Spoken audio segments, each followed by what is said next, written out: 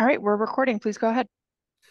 All right. Uh, thank you, everyone. Um, this is uh, Bob Hegner, uh, the Finance Committee of the Town Council of Amherst. I am calling to uh, order at 2.03 uh, p.m. by my clock. Um, this is a regular meeting uh, that we've scheduled. Um, the meeting is being held virtually. For those of you who um, are in the audience, uh, if you have trouble uh, either um, raising your hand or otherwise uh, being recognized for public comment, then please let me know or let Athena know, and we can uh, see if we can solve that problem. Uh, there will not be any uh, in-person um, public access at this meeting. We'll just be uh, virtual as we have been for some time now. So uh, before I open up the the meeting to public comment, I just want to go around the room and make sure that all the committee me members can hear me and can be heard. So uh, if you just can acknowledge that you're here, I'd appreciate it. Um, Andy? I'm here. Bernie? Yes. Kathy? Yes. Councillor Hanneke? Present. Tom? Okay, so everyone's here. Uh, we're still short a couple of members. Uh, I want to welcome Tom Porter to the committee. Um, Tom is uh, a longtime Amherst uh, resident. Uh, I guess you grew up here, is that right, Tom? It's true. Yep. 1962. So, so Tom is uh, uh, he used to be a neighbor of mine, uh, but he moved out and then he moved back to town, so uh, he couldn't get away from Amherst. But uh, I'm glad he's uh, he's here. Sorry, get spam calls all the time. Um, so uh, Tom, welcome. And for those of you who don't know Tom, Tom does come from a, a, a very strong, has a strong financial background and uh, knows Amherst very well. So uh, I think he'll be a great addition to our team. So with that, um, I'd like to open up the first uh, uh agenda item is public comment. Um, if you could please uh, raise your hand, uh, those of you who are um, online, if you wish to make a comment, raise your hand. Um, and then we can pull you in to the meeting. Let's see, two people, three people.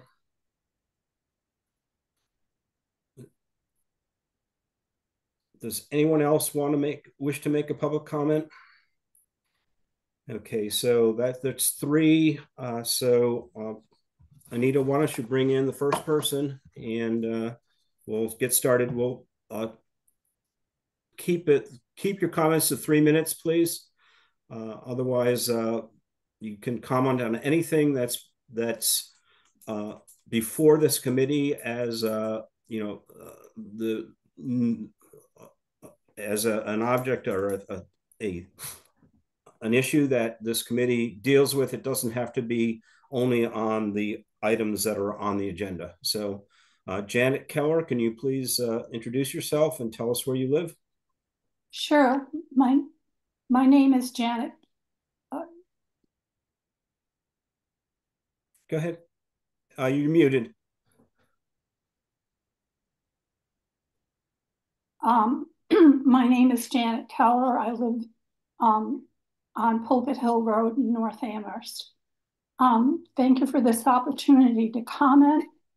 Please consider the long-term costs of expanding the Jones library um, and compared with competing critical needs to repair and replace other town buildings, roads, and infrastructure. Um, and versus the relatively modest cost of restoring the 1928 and 1993 Jones structure. Um, also, the value to Amherst economy of restoring and inst instead of expanding the this iconic historic landmark um, and replacing the failing HVAC system with a cost-effective renewable energy system. And finally, um, replacing slate shingles with slate shingles um, that have a 50 or 100 year life rather than asphalt shingles with a 15 to 30 year life. Um, I uh, thank you for considering these comments. Thank you.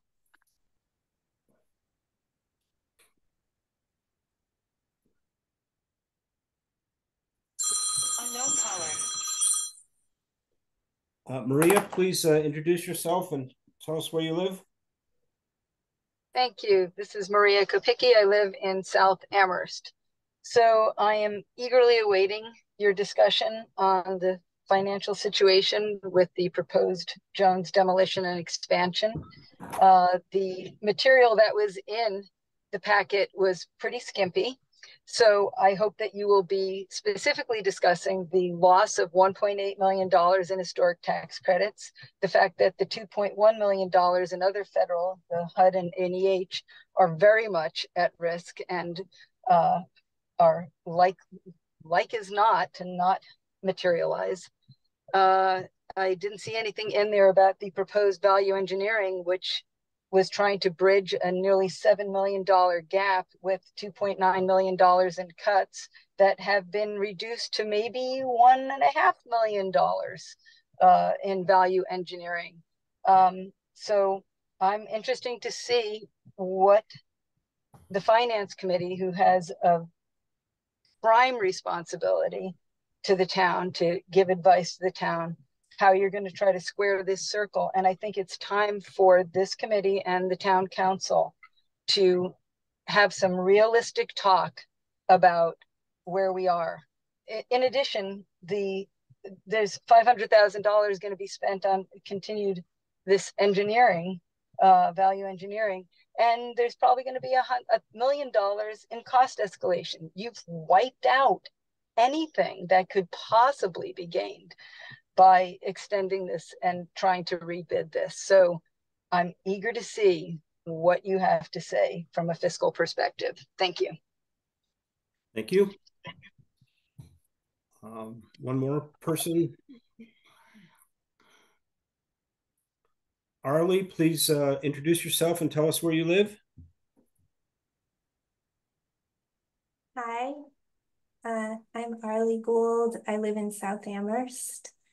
Um, I'm also uh, concerned about this kind of uh, money that the project just seems to be letting go of, the, the mass historic credits, now the NEH and HUD money at very high risk, just letting go of millions of dollars that could help to pay for this project. Um, really because uh, it seems like a unwillingness to deal with the um, historic uh, preservation aspects of the project. That's all what this money is tied up around. And they don't want to do that. So this money is just going to, you know, almost $4 million just floating away because, you know, I'm not sure why, but just seem unwilling to do what's necessary to obtain these funds. And um, yeah, and also, you know, interesting that, you know, half a million dollars plus from their endowment to pay for these value engineering uh, redesigns. Just, um, again, fiscally, you know, what's going on here? It doesn't seem very well managed or planned. It all seems kind of rushed and ad hoc and um, there's some question about how the town is paying for the value engineering redesigns. The library is supposed to reimburse. I had some conversation, you know, how fast is that actually happening? It does seem to be happening. Um, so that's a good sign that the town isn't in fact paying for these VE redesigns. Um, the library is actually maybe doing their share, hopefully. Okay, thank you very much. Thank you. Thank you for your comment. Uh, I don't see anyone else uh, who wants to give public comment. Uh, if there is anyone, please raise your hand now. Otherwise, um, we'll just uh, move on to the agenda. Okay, I think that's it. So I'll, Close public comment um, and we'll move on to the next item, which is the Jones Library Building Project financial update.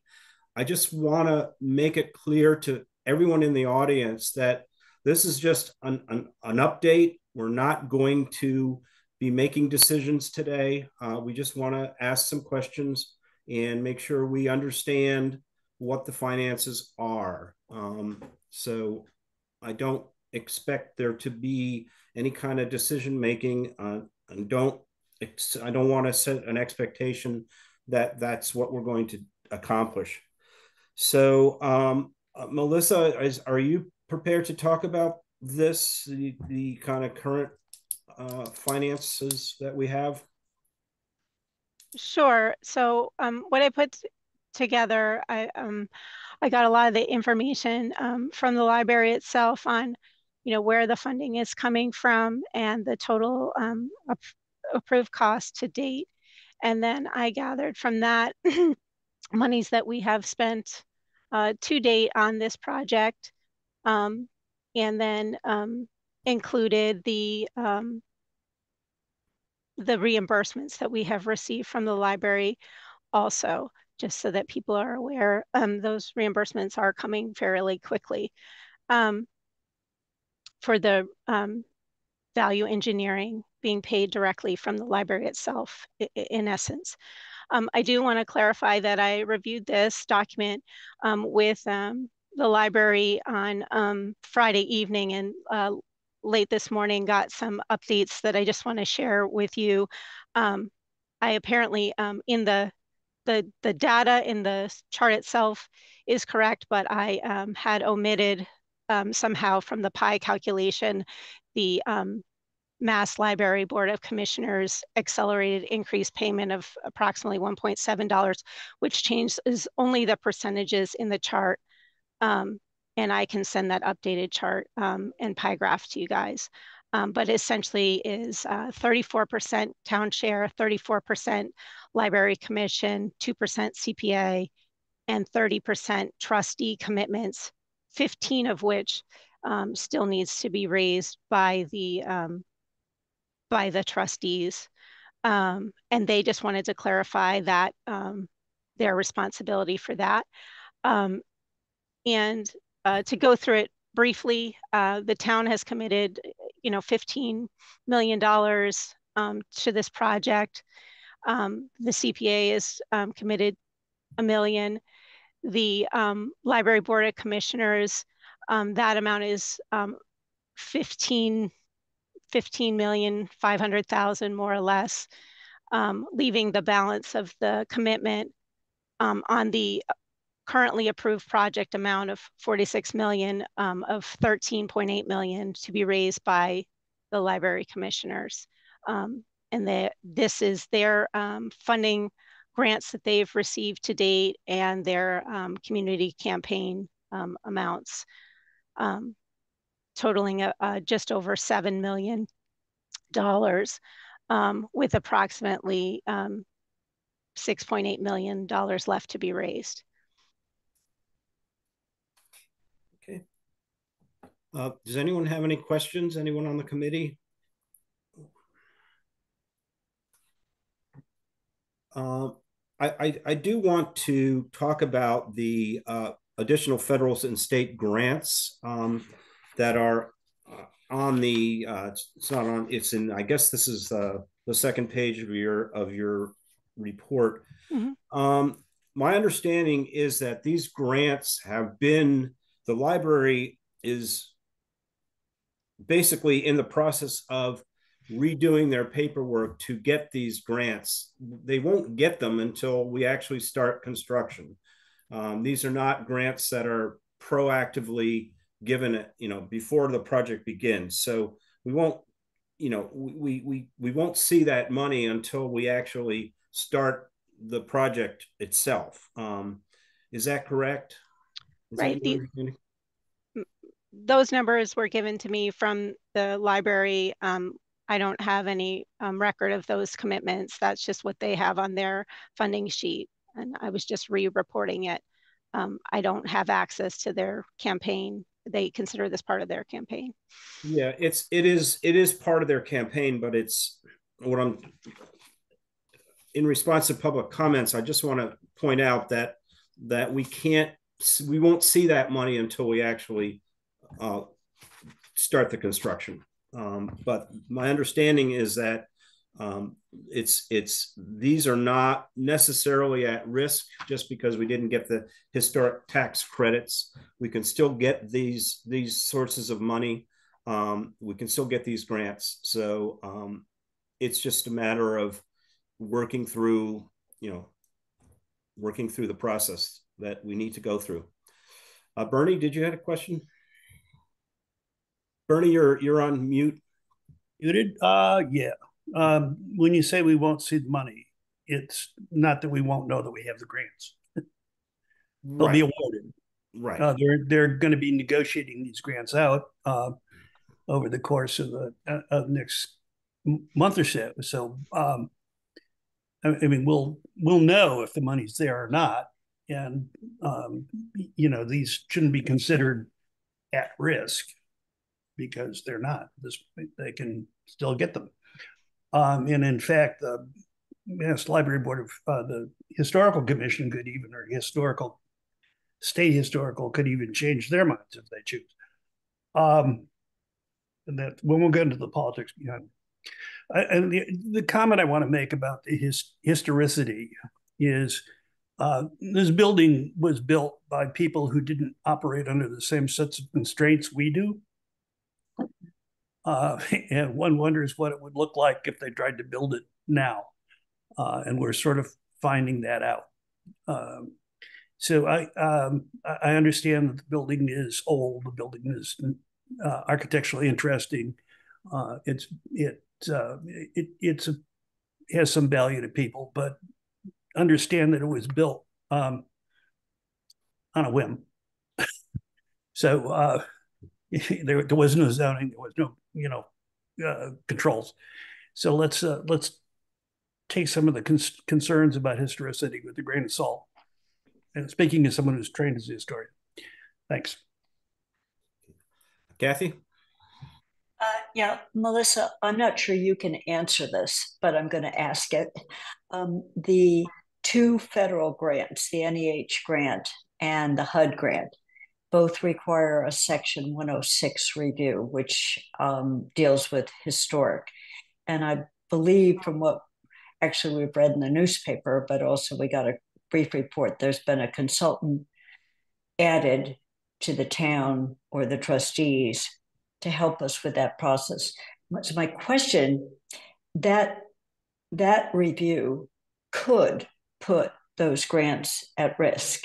And one of the uh, advisements on the federal side is make sure you go through that review before you sign a contract for the building.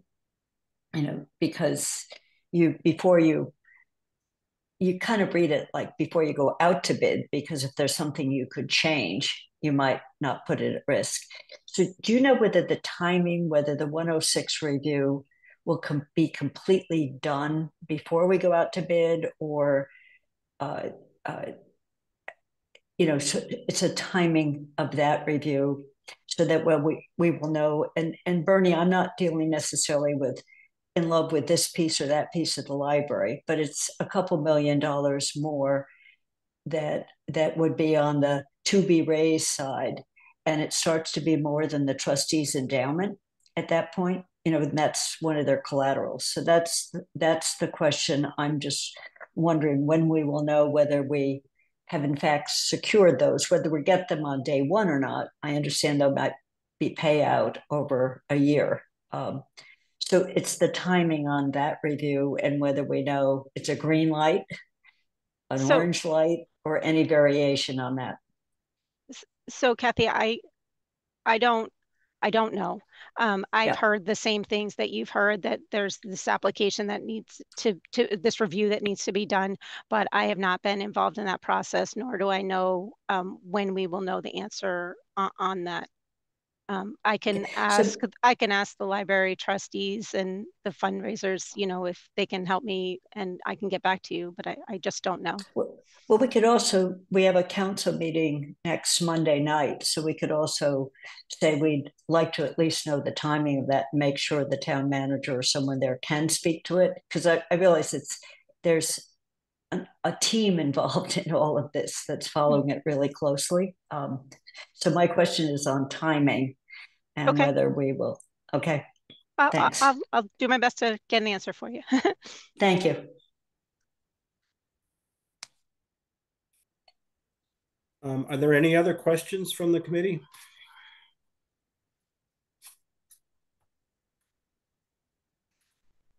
No, not here. Oh, Andy? Yes, I'll just ask one question as to whether there has been any further review of the uh, repair option that we would have to go to if we can't complete the project as the trustees have recommended. Uh, the uh, Kuhn Riddle uh, was uh, a fairly thorough analysis of the work that was known to be done at that time. We know that there's some additional work that has to happen because of changes in codes and requirements since then. Uh, but uh, I think it's always um, worth knowing when we're considering this what what uh, the alternative cost is. Um, so I was curious whether there's been any thought given to that side.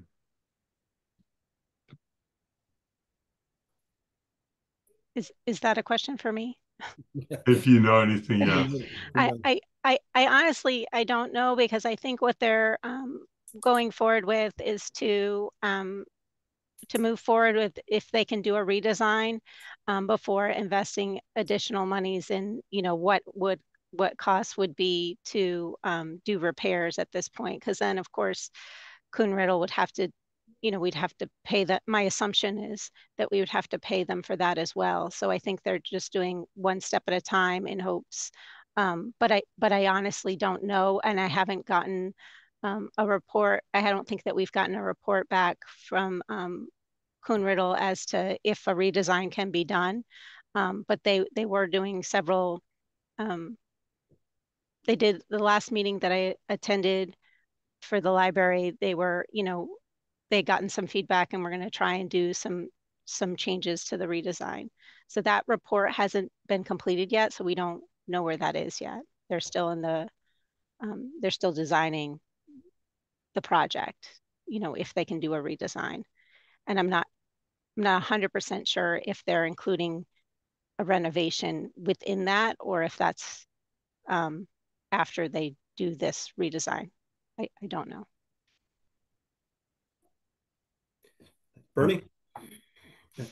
Yeah, um, two points of clarification. I just felt parenthetical market would re- be really helpful if we had somebody from the library, um, either the trustees or uh, the head of the program here. Um, to further this discussion, two things. One, it's dangerous to assume that any kind of renovation will be cheaper uh, because we're going to renovate. Uh, there'll there'll be no state money uh, and there'll be a series, likely to, if especially if the renovations are done in a series where you have repeated uh, mobilizations and different contractors coming in and out. It'll be a prolonged process and it will be expensive. The library is loaded with asbestos. In some cases, it would be just easier to take things out and take them away than to try and work uh, and abate the asbestos. Um, those are those are things that you're going to have to look at for one. And for two, just to remind people that the trustees are independently elected officers. They have control over the, the library's endowment. And so how they choose to spend that endowment is a matter between them and their constituents. Um, you know, it's a problem when you have, you know, elected bodies. Uh, uh, they um, uh, they've been elected by the same people that have elected the council, elected the school committee. Thanks. Thanks. Any other uh, questions or comments? Tom? Thank you, Bob, and uh, thank you, Melissa. I, am new here, as you know, so um, I I know this is a, a, an interim update. I'm just curious at how often you hear from uh, the library and what would be the next milestone for an update. Um, well, I just while we were in this meeting got a um, a meeting scheduled for September 17th. So that would be my next time that I would know anything more from the library. Thank you. Any other uh, questions or comments on this? It, you know, I, I, I recognize that that we we don't have anyone from the library present. Um, I did. I was expecting there to be someone here, so um, that's too bad. Um, it it's hard to ask Melissa to, all these questions because she's I'm sure she's drinking from a fire hose as as we speak. so um, and this is a very very controversial uh, project. So I you know it's it's uh, unfortunate that we can't really look at a, a lot of this information in detail. Um, but as I as as Bernie pointed out, this is um, you know the, the library trustees are are are an elected body, and uh, we can they they do have the responsibility here to uh, oversee the library, and so um, we there's the, the, the town council has um, you know the appropriation authority, but we don't really have the authority to go in and, and micromanage a project like this. So just bear that in mind, everyone. Um, any other comments before I wrap up this? Uh, Bob, just what I just want to follow up on what you said. The council does need to be financially accountable to the taxpayers. So one of my questions is if it doesn't appear that during the life of this project, if we can stay within the 46 million, that's the first big question, and we won't know that till the bids come in.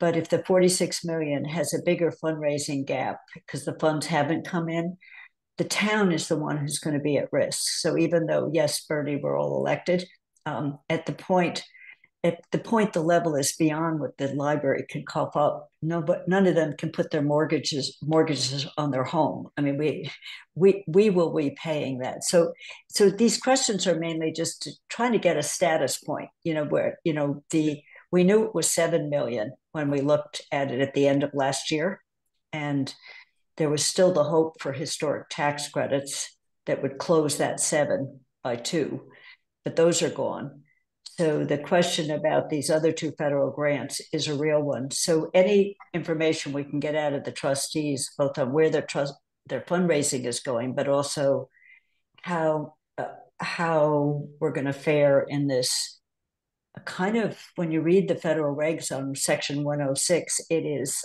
they go on for pages on what what's going to be looked at who's going to look at it and who's responsible. So just some sense on the timing on that, I think would be really helpful because we voted, we voted the 46 million. And so we need to know how much we're going to be on the hook for. Uh, and I think so that I, I yeah, can't speak, I can't speak for the trustees. I can only speak for certain conversations I've had. And I think people um, on the library trustees, I think, fully are fully aware that there's a limit yeah. uh, both to what they can spend, what the town's willing to spend. That line has been drawn. You know, the town's made its commitments, financial commitments. They understand what the limits are. And I think they would admit if the prices are out of control, the project is mute, moot. And I, you, you know, we just need to let this roll forward. Uh, I've never seen a brief federal regulation, including the regulation that talks about paperwork reduction So uh, that's why you hire consultants to deal with that. I managed to avoid much of that in my career, uh, thankfully. So yeah, I, I mean, people understand there's limits, and and let's not, you know, go there. There's, I guess, Kathy, I'm excluding you from this, but there's been a lot of awfulizing about this project by certain parties, and that continues. And I think we just need to set it aside and take a nice, calm look at this and understand what the process is and understand where the money is coming from. And as far as I know, no one on the trustees have just fallen off the turnip truck or out of the coconut tree or wherever you come from. They understand that there are limits. And, and we've pretty much outlined them around the page for 47 million.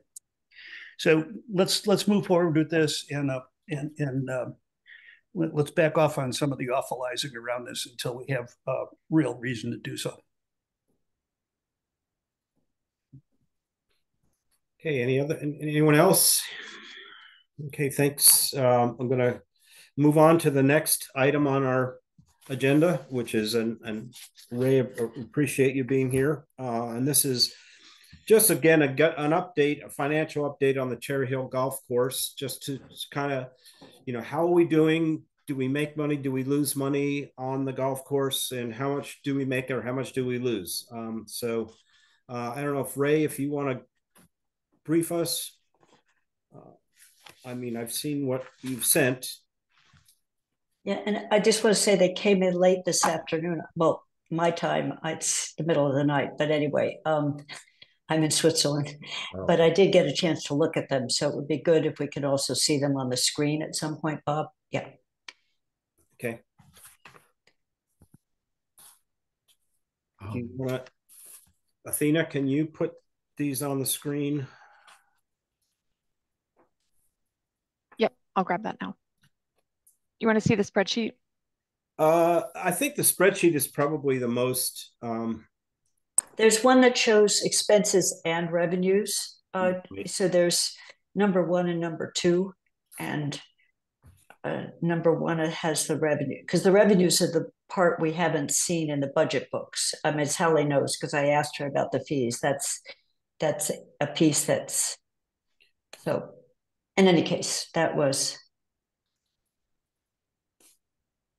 Yes. Okay. Um, I can I think I can be brief here. This is coming up on the screen now. Um, we are, uh, Cherry Hill is making money right now. Uh, revenue is coming in uh, in advance of those of of those expenses.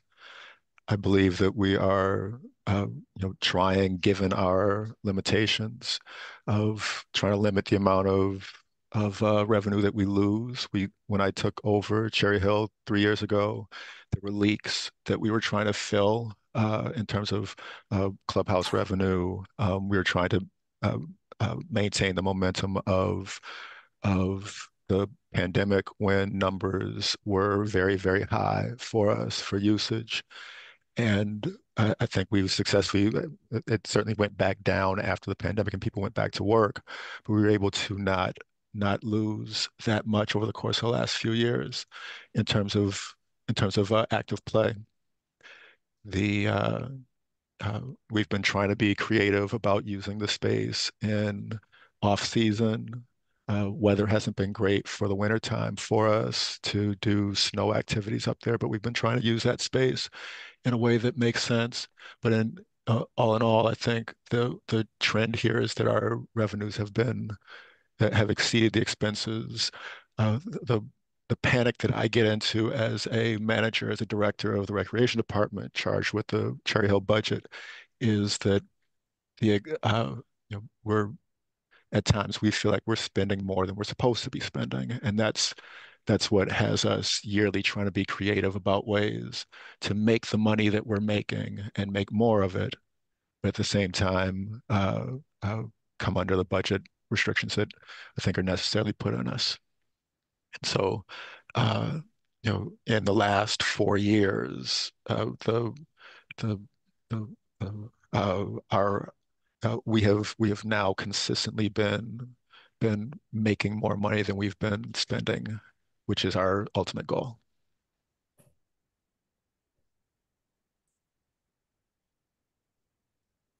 Yeah, I noticed, um, Ray, that if you if you add in the um, the capital expenditures, which um, come from the separate budget, but they're still part of the town uh, expenses, and the fringe, which also is covered under a different part of the budget, then uh, it doesn't look like you're making money. You're actually losing a little bit. Um, in the last, actually, you made money in 2021, even with with that uh, factoring that in. In 2022, you lost about 17,000. In 2023, about 58,000. In 2024, about 37,000. I mean, it's not it's not paper losses in the in the sense that it's it's just kind of looking at at total cost, if you will. Um, you know, I think I think it's you've you've managed the budget very well. Uh, this is a part of the budget that you know you don't see uh, so to speak. Um, so um, it's it's hard to manage with that in mind and, and other departments don't manage that way. Uh, but i think in terms of total cost we you know we need to we need to think whether you know it it there's other things we can do to increase the revenues um, you know beyond you know kind of operating a golf course. Um, and so, and I know you're you're thinking about that, um, but I think that uh, we're not, you know, it, in my mind, we're sort of we're kind of barely breaking even, if you will, uh, right now. Um, and uh, I don't mind if we lose, you know, 10,000, 20,000 uh, a year. That's that's the cost of doing business, so to speak. Um, and it's so it's it's really only you know one one year that that it's been sort of out of whack. So that's pretty good even when when you consider the fringe benefits and the the uh, the uh, capital improvements um, capital expenditures.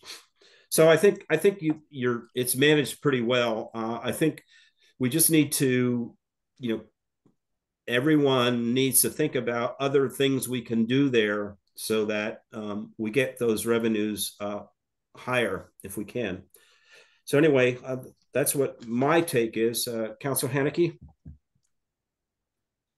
Um, I, I had a similar take to uh, Bob when I did the uh, capital and estimated fringe on top, what looked like, you know, a break even or an enterprise that might be able to subsidize other recreation departments uh, suddenly becomes one that is not. And I will say, before 2020, those numbers were a lot worse with capital and and all of that. And so I I am happy to see and and that since COVID and that big rise in 2021, that you've been able to sort of keep those numbers, those revenues as high, that that bump we saw has sort of become a multi-year bump, hopefully more permanent.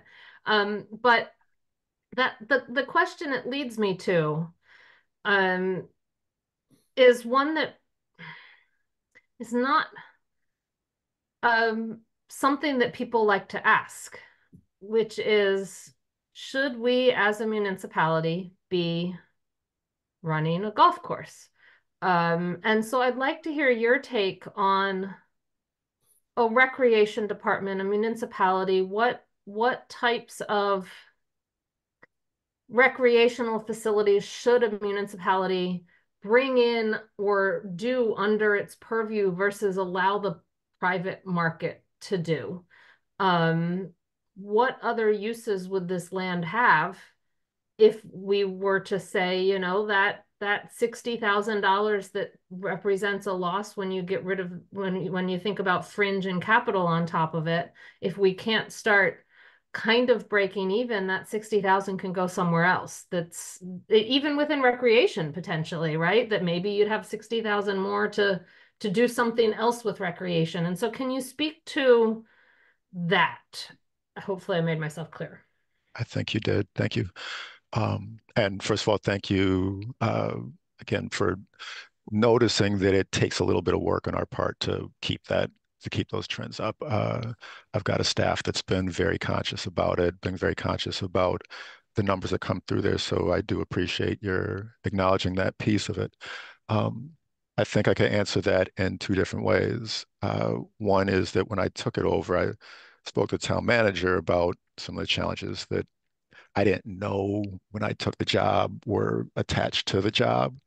Um, and and Cherry Hill's budget was one of those things that so that I, I was inspired by the opportunity to try and challenge. Um, the uh, the way I see it is that Cherry Hill is a gorgeous resource. It's a gorgeous asset that the town has, and for whatever reason, when the town made the purchase, whenever uh, when they brought the, when they brought Cherry Hill into the fold, my my interest as the director now is to is to uh, you know allow that asset to grow as much as I can and to make money off of it. Uh, uh, I don't make the decisions about what happens next with it. I think it is it has been a headache for my staff and I in terms of how to do this responsibly, how to do this in a way that that uh, uh, you know you know answers are are that, that allows us to answer the the needs of the taxpayers to uh, to provide quality recreation to the people who go out there and use it. Um, my my thing from the very beginning is it's it's under our umbrella. We're going to find a way to make the most out of it as we can. If it's if it if somebody was to come and tell us that it's not operable, as much as I love the the the uh, uh, the I, I love running a golf course. It's a it's a really cool part of of the job that I've taken on. Um, if the town told me that it wasn't in our best interest financially in terms of business sake, then I could make a pivot away from it. But uh, as long as we have that asset, and as long as that's underneath recreation, we are going to continue. We've already have, I think we have some, you know, the next phase of trying to trying to build more revenue out of there to offset some of the costs. I think we're in the process of trying to put another idea on the table. It might be very, very uh, strong for us, but as long as we own that asset, uh, I and my staff intend to make the most out of it as we possibly can for the people of Amherst, for the golfers of Cherry Hill, and all the people who use that space. Um, uh, uh, and but then the second way that I would answer that question is that uh, you know, why are we in the business of doing golf other than the fact that we have it and it's better to do something with it than to do nothing? Um, why are we in the business of doing golf? I think that uh, uh, you know, there's uh, I've I came in at the late end of the conversation. I've only been in this conversation for a small number of years, as it's been going on long since before I got in.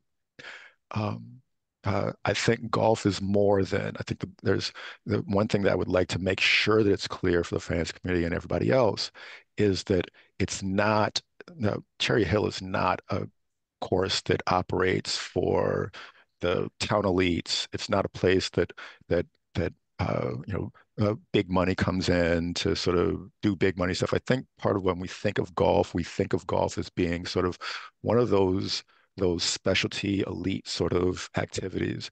Uh, we saw during the pandemic just how important it can be for recreational activity. I think it's a I think it's a really really it's a different way of doing recreation than a lot of our other programming.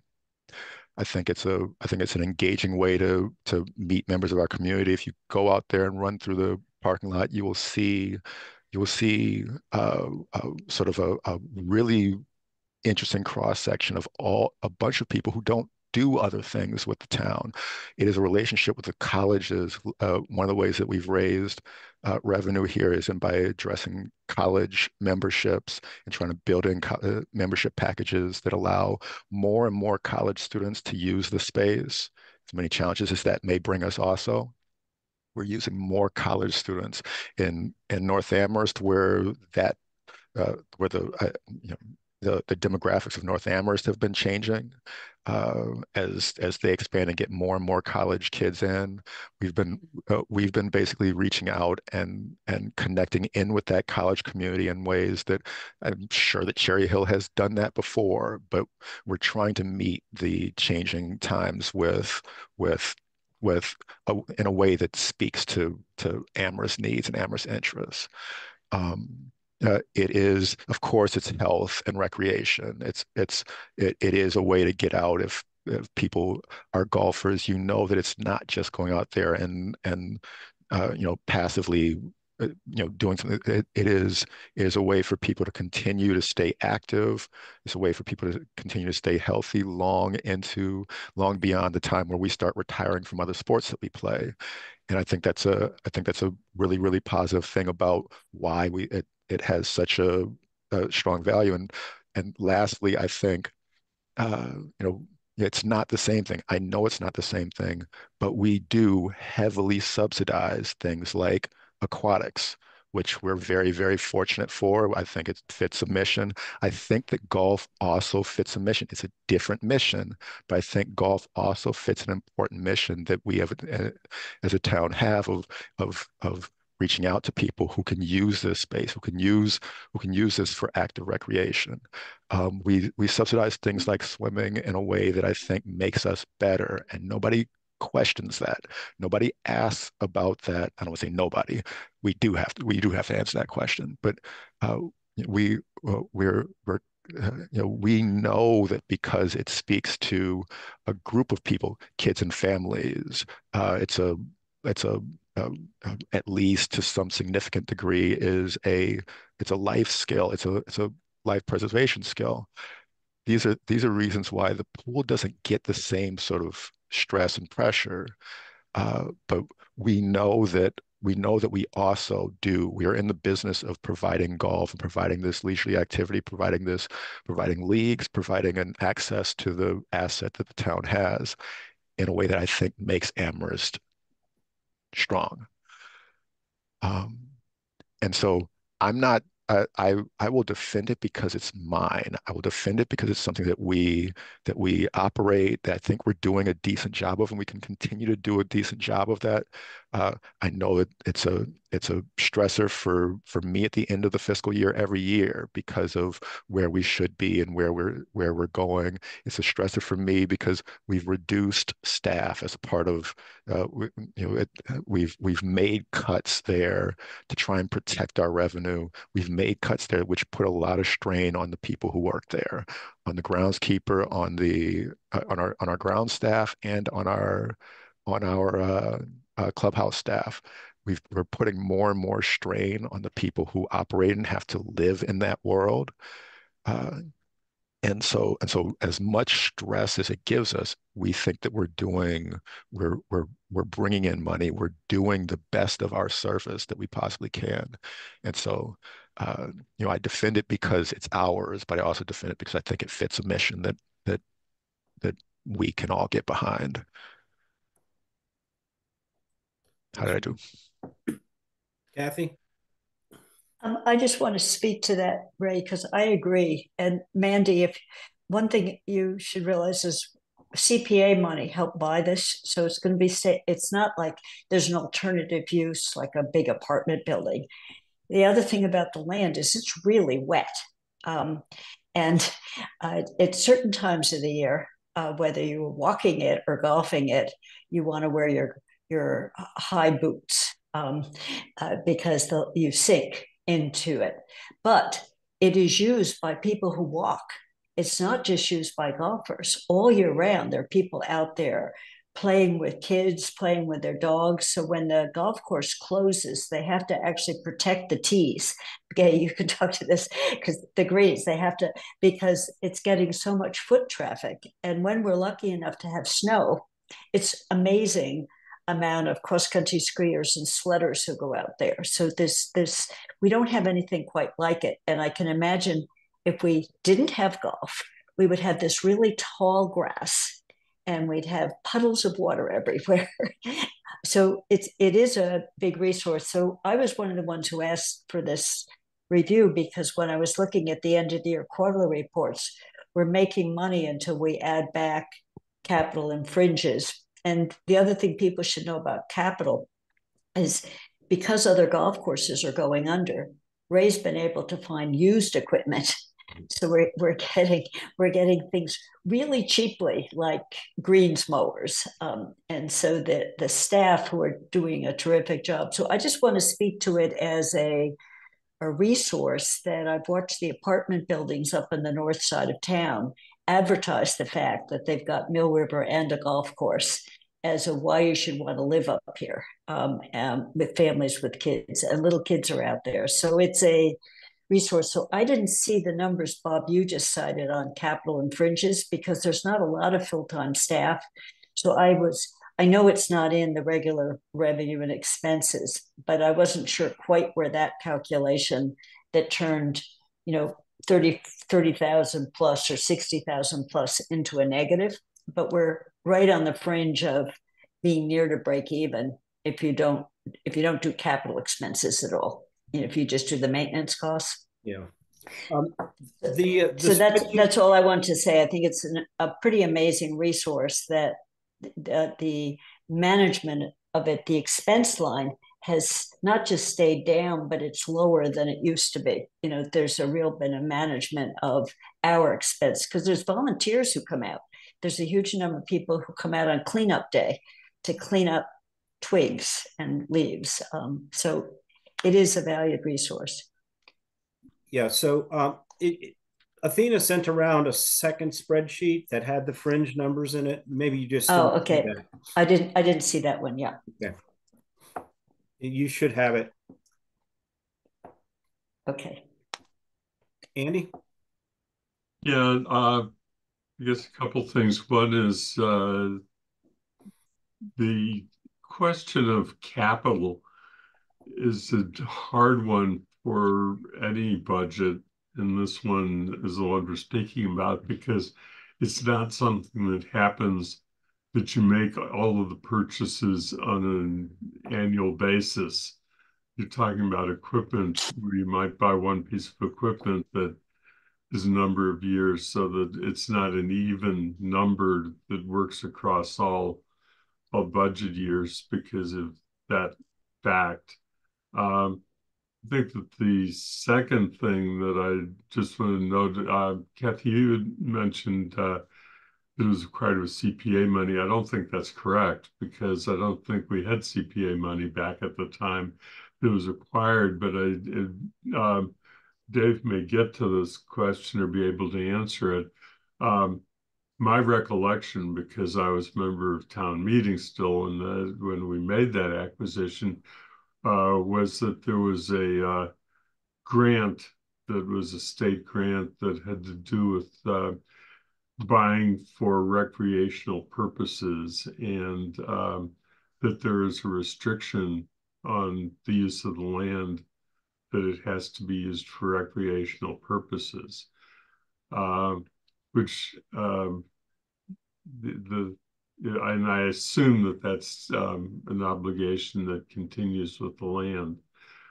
Um, the uh, that opens up another question that I had is whether there are other recreational um, uses that we can make of that land, and I thought about it having to do with the forever um, challenge to find a location for pickleball as to whether uh, that's something that should be considered if the Stanley um, Street, uh, uh, the Kiwanis Park doesn't work out as a location and we had set aside CPA money, whether uh, because there is recreation land and parking facilities and whether that's a possibility that anybody has given any consideration to.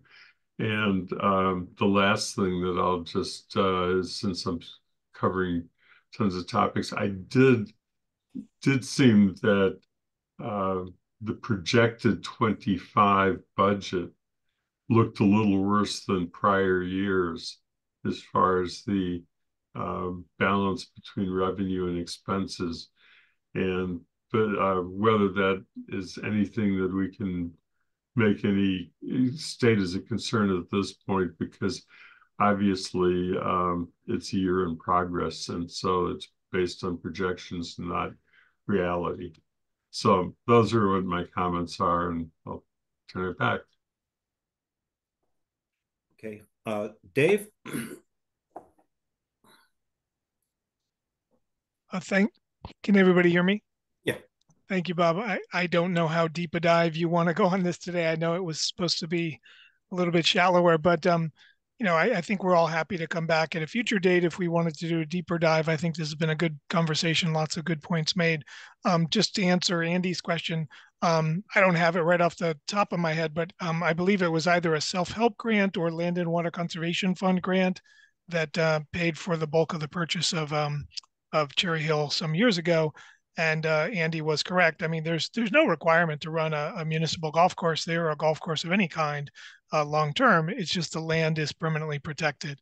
Um, I, I, I won't go into great detail, but suffice it to say that you know finance and Ray and I and Paul have had many conversations about Hickory through the whoops sorry Hickory Cherry Hill uh, through the years, um, and I think you know to Mandi's question, you know uh, should we be in the golf business? I think that's kind of a fundamental question that that we need to continue to look at. You know year in year out.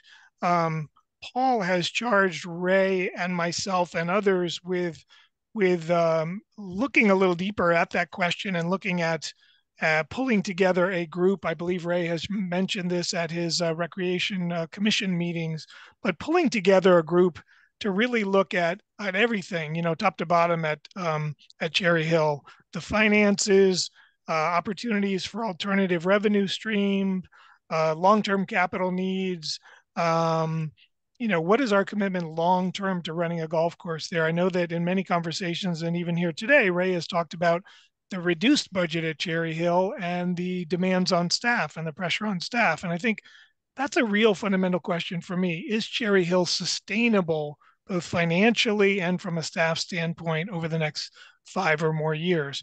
Um, what is, you know, what are the capital needs? What are the capital needs looking five years, 10 years down the road? Um, could the same kind of service be offered by the private sector at Cherry Hill um, and still have recreational golf offered as an opportunity for North Amherst with all the other amenities, i.e., what hiking, walking, uh, bird watching, running, um, and Winterfest and things like that. So I think Ray and I have to kind of double down our efforts to pull this working group together with Paul and really look at you know, what does the next five to 10 years look like at Cherry Hill? So, you know, I'm committed to doing that with Ray. And I think it'll be very instructive to kind of get a full picture and come out with some sort of report at the end of that with a recommendation through the town manager, say to the council or as part of, you know, a future budget year. So that's kind of, um, and, and of course we would be working with the finance team with Melissa and Holly on that as well. Um, but that's kind of what my interest is in in looking at that long term. My worry is that what happens when staff turns over, what happens when we get retirements, what happens, can we hire people um, and expect the same kind of commitment that we have there at now with a very small staff? So sustainability of that operation is kind of fundamental to me or for me. So that's what I'll be looking at. Thanks. Thank you. Uh, Bernie? Yeah, I'm um, fond of quoting Mark Twain when it comes to golf, and uh, I, I he, he, said it was a good walk spoiled. Right. Um, and I, I, know that we have the ghost of, of Larry Kelley who still haunts the uh, haunts Cherry Hill, and needs to be exercised. And Ray, I want to congratulate you for all the efforts you've been making. I mean, golf is a tough business to be in. And David, I think your question about could a a private sector offer a golf program, I think Hickory, Hickory Ridge answers that. we own it. Um, it's it's tough, and I really want to uh, commend Ray. We want to commend you uh, and Dave Ziomek as well for the, the, the kind of attitudes this is displayed here, because providing a valuable service to the town, making it available to all comers who live in the town makes the town more attractive, it makes the town more valuable, and it builds a commitment to the community. So, um, all power to you in making Cherry Hill work. If it doesn't work, I trust that you and your team will come up with some pretty good alternatives that continue to meet the needs of of uh, of those of us who live in town. So, thank you. Thanks, uh, Melissa. I, I just wanted to say, um, in terms of the um, budgeted revenue, um, I, I know that my history in the past, and I, I, hope Holly can confirm this on me, is that we tend to be fairly conservative on um, revenue um, budgets, especially in departments. It's like a golf course um, where a lot of the revenue is seasonal dependent, like what's the weather like this golf season? And so you really, we always make a low estimate. And, you know, we always hope, and I'm sure Ray is working very hard diligently to surpass that number, but we always try to make a conservative estimate um, just to be safe um, as to what we, we really think we can get in the worst weather conditions um, in a golf course um, because golf course is so weather dependent. Thank you. Holly? Well, that was exactly part of what I was going to say. um, is exactly that. You know, we have not raised our revenue um, estimates very much simply because it is very, very, very dependent upon the weather. And weather in New England, as everybody knows, is certainly changing. And we don't know if it's going to continue or if we're going to have, you know, major floods again and folks will not be able to golf. And a couple other things I just wanted to sort of clarify. Um, uh, some sort of questions were asked about the fringe benefits and the capital. And so with the fringe, um, again, we don't necessarily allocate out folks fringe benefits to their departments. So I used basically just a 10 year average of what the towns, you know, per every dollar of salary, it's X percent of fringes. Um, most of the folks there are part timers. So those fringe benefits could be slightly lower than what that estimate is.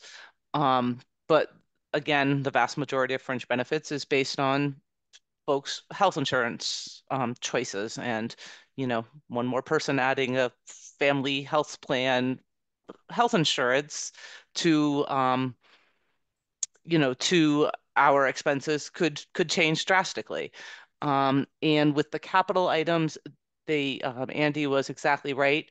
Some of those um, capital items, especially in the earlier years where you see smaller amounts, um, there was a point in time where we were actually leasing to own some of that equipment. So equipment would be broken out over a three-year period. You know, say instead of going out and spending thirty thousand dollars for a mower one year, we would spend ten thousand in one year, ten thousand in the next year, and ten thousand in the following year to try to level some of those out. Um, back in the um, you know, probably about 10 years ago, we utilized more uh, lease payments because it was easier and cheaper for us. Um, and um, so that that is exactly why some of that capital is broken out the way it is with some smaller figures in some years. It may have been one piece of equipment that we financed over a three-year period. So just wanted to clarify those couple of things. Yeah and and holly I just so uh, i i certainly understand that we that normally fringe is not attached to each department budget. I I, mm-hmm. I understand that. And i was just trying to it's just very helpful to see it yeah, so they sense of what the the total cost is.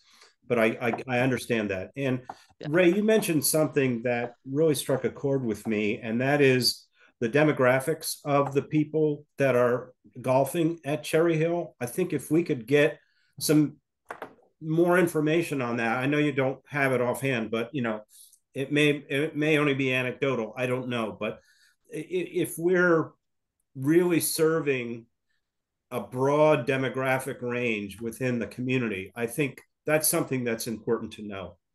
Um, and uh, I, I, think if uh, Dave, if, if you know you look deeper dive into into the golf course, if you could try to gather some of that information, I think that would be very helpful for people to know um, that you know if if we're not just serving one narrow uh, slice of the the community, we're serving a broader spectrum of people. Um, any other comments or questions? No, actually, it's been very, this has been very helpful. Thank you, Ray and David and Melissa and uh, Holly for your comments. Um, are there, Thank you. That's all that we have for our agenda. There was one item I wanted to bring up, and that is I will not be able to attend our next meeting, which is scheduled for the 17th. Um, I'm coming back from vacation on that day, and I might be in town at two o'clock, but probably not. Um, uh, my flight gets in around noontime. Um, so it's unlikely I'll, I'll be there. Um, so uh, one one question is, can we move it to the following week? Would that work for everybody on the committee? Um, and you can you can shoot me an email if if, if you if you feel it's not feasible. Otherwise, we'll just postpone it a week. Um, I don't really have any agenda items for that week anyway, so maybe we can we can just cancel it uh, if we don't have if there's nothing that's been referred to the committee. Um, I mean, I know there's some things we could do some more work on, uh, particularly the reparations. I know Kathy, you've been working on that a little bit. I've been playing with spreadsheets with that too, but it's kind of premature to to to work more on that unless we just want to do it. You know, to, to sort of get a, a, sense of of what of what uh, our options are, or what you know, what options would look like. Um, um, but um, anyway, uh, I don't think we need to discuss this. But um, if there's if there's any objections, you know, I unless there's some some serious objections, I'd like to postpone at least postpone the meeting a week, and maybe uh, I'll I'll wind up canceling. Okay. Um, I will also write up um, what we discussed today and uh, send it around before I I disappear. I'm gonna uh, I start my vacation on on Saturday, so I will send it around to people beforehand. Uh, so um, uh, you can uh, you can review it, and maybe I can get it to uh, to Lynn uh, in time to have it presented at next next council meeting. Um, any other questions or comments? Okay. Um, sorry, I hit the wrong thing. uh, okay, I will uh, uh, entertain a motion to adjourn. So, so moved. Second. Okay. Uh, I vote aye. Uh, Andy? Aye. Kathy? Yes. Councilor Hanneke? Aye. Uh, Tom? What we normally do is we we ask uh, the non-voting members if they support or they're uh, uh they fail to support. Right, that was that was my uh, worry. I'm uh, I'm I'm indicating support without voting. Bernie. I wholeheartedly agree. All right. All right, everyone. Thanks a lot. And uh, thanks. It was a very helpful meeting. Bye bye. Thank you.